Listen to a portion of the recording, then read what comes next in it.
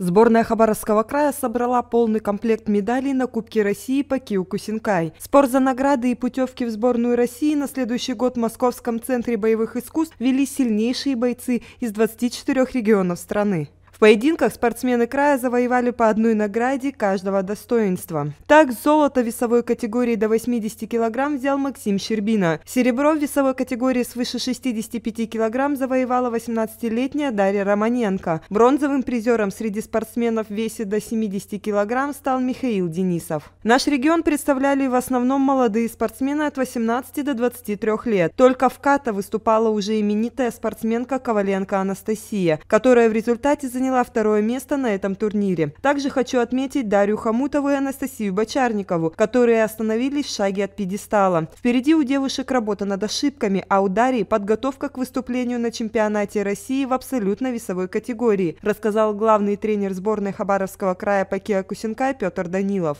В следующий раз на татами ведущие бойцы региона выйдут меньше, чем через три недели. С 24 по 27 марта во Владивостоке состоится чемпионат России в абсолютно весовой категории категории. Хабаровский край на этих соревнованиях будут представлять 6 спортсменов. Также в эти сроки пройдет первенство России среди юношей и девушек, на котором выступит 81 спортсмен края.